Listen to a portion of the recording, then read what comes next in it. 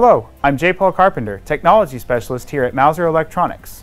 I'm here today to introduce the ST Microelectronics BL475E IoT01A Discovery Kit for IoT Node, or the ST IoT Discovery Node for short. ST Microelectronics is a global leader in innovative semiconductor solutions for smart driving and the Internet of Things, or IoT. The ST Discovery IoT node is designed to be a smart node, which means that it sits on the edge of the network right before the Internet gateway. It includes a multitude of sensors and communication platforms to enable a wide range of interfacing options.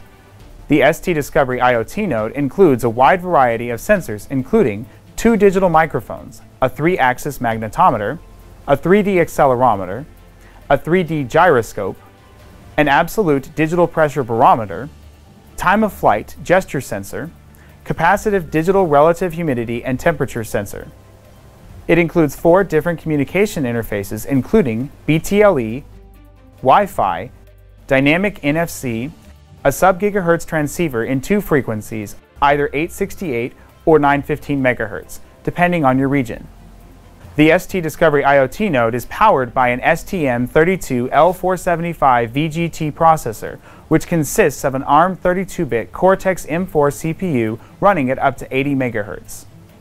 The software boasts more than 18 communication interfaces and uses both Arduino and PMOD connectors for adding to this already capable board. To connect your ST Discovery IoT node to your host computer for configuration, you will need to provide a micro USB A-B cable, a host computer running Windows with available USB port, an internet-connected Wi-Fi router with known SSID and password.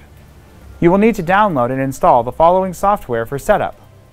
ST-Link V2 driver which can be downloaded from the link provided. Account creation or login may be required. Teraterm or other serial software, and a text editor. The board now comes with the Amazon AWS demo that publishes temperature, humidity, orientation, and other sensor data to the cloud service and allows a web interface. Follow the instructions provided on Mouser.com at this link to set up the AWS cloud service. The directions describing what I am doing can be found here. All links will be provided in the video description as well. After completing the Amazon AWS setup, you will need to have the following information ready. Device name as configured in the Amazon AWS setup, root certificate ending in .pem, thing certificate ending in .pem.crt, private key ending in .pem.key, and the REST API endpoint address. To configure the device, open TeraTerm and start configuration. Select Serial in the New Connection window. Select the correct COM port from the drop-down box to the right and click OK. Click Setup, then Serial port, and set the baud rate to 115200 and confirm that all other settings match my configuration on screen, then click OK. Click Setup, then Terminal, and set the new line receive to Auto and new line transmit to LF. Enable Local Echo and click OK. Press the black Reset button on the development board and you should start seeing the development information scrolling across the terminal screen.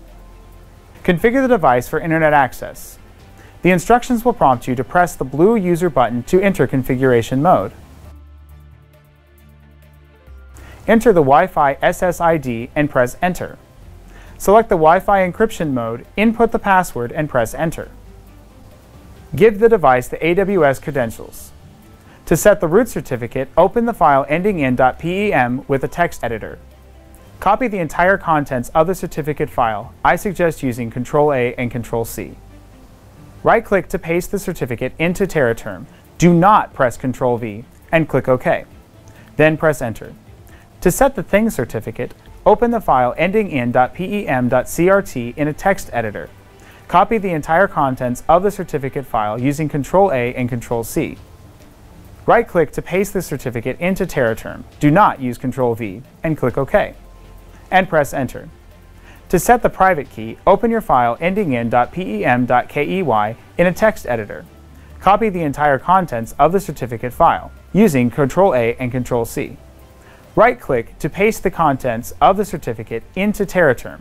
Do not use Ctrl-V and click OK and then press enter. To set the server and thing names, copy the REST API endpoint address. Right-click to paste the address into TeraTerm. Do not use Ctrl-V. Set the device name as defined in the AWS setup. The board will start sending data once it is connected to AWS every 10 seconds for 10 minutes. To view the connectivity, select the AWS console on your browser. Select Registry, select Things, and then select your thing. Click on Activity. You will see a graph showing the connection rates. To interact with your thing, select the MQTT client.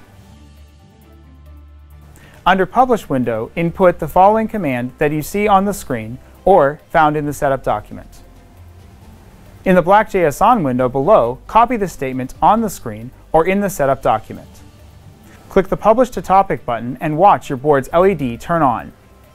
To turn off, go to the Publish window and repeat the previous instructions, changing the word on to off.